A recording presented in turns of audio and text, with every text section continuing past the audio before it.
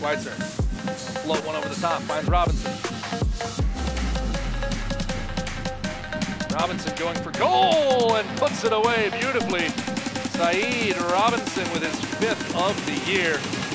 And the Colorado Springs switchback answer back emphatically in the 51st minute.